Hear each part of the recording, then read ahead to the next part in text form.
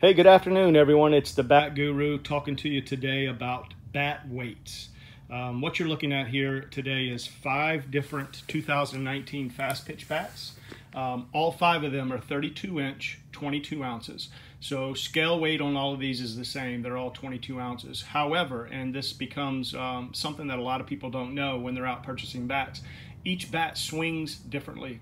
So when you're looking at a bat, especially when you're about to drop anywhere from three to four hundred dollars, uh, you want to make sure that what you're purchasing is the correct uh, bat for the for the child you're purchasing them for, or if you're purchasing it for yourself. Um, but what you want to make sure is you want to look at the actual scale weight, which as I mentioned earlier on these bats is 22 ounces but it's very, very important to know the swing of your child and that they're getting the proper weighted bat as far as swing weight is concerned. So what I'm going to do is go through a real brief uh, tutorial real quick on these five different bats. This th same theory holds for baseball, depending on the design of the bat. Uh, but right now we're talking about softball. So what I have today is five bats. To the very far right is the DeMarini Insane.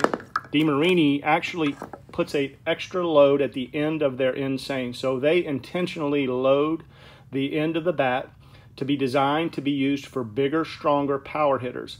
The Insane is not a bat for a leadoff hitter, not a bat for a slapper, not a bat for someone lower in the lineup um, that sprays the ball a little bit.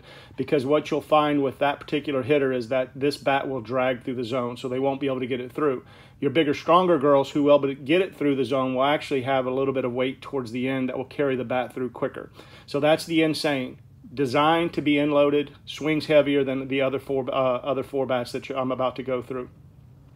Next to the Insane is the Easton Ghost. And this Easton Ghost is not marketed as being end-loaded by Easton. However, it does swing heavy. Um, the Easton technology is a double wall technology in the barrel of the bat.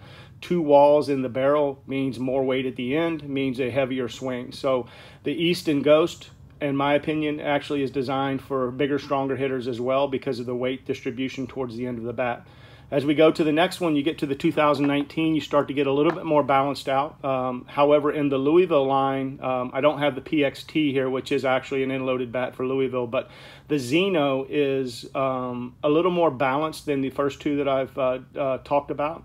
But the Xeno, if you recall from a previous video that I put out, Xeno has two aluminum discs in the barrel, and those two discs have weight, and the weight is put towards the barrel, so the barrel is a little bit top heavy. Not so much as the Ghost and not so much as the Insane, but um, it is a little bit top heavy. You'll find that Louisville hitters who like the um, Louisville line prefer the bigger, stronger hitters normally prefer the Xeno. Um, the other hitters in the lineups uh, that swing Louisville bats usually go to the bat I'm about to talk about next, which is the 2019 LXT. The LXT has a design in the barrel of it as well. It has one disc in it. It's composite disc. Uh, composite's much lighter than aluminum, so there's a tad bit of weight in the LXT, but it, it really is a balanced design. So you'll find Louisville hitters um, who uh, really uh, are leadoff or spray hitters will choose the LXT over the Xeno.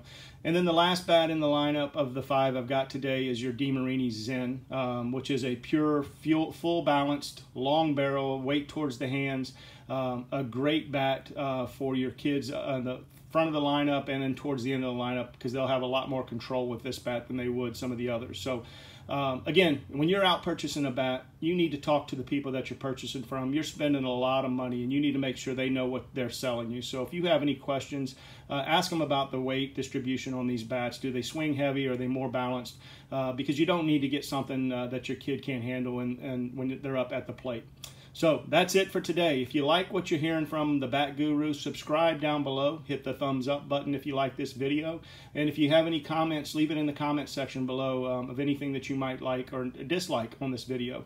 Um, and if you have any questions or any issues you would like for me to uh, bring up in my next video, email me at thebatguru at gmail.com. Thanks, everyone. Have a great day.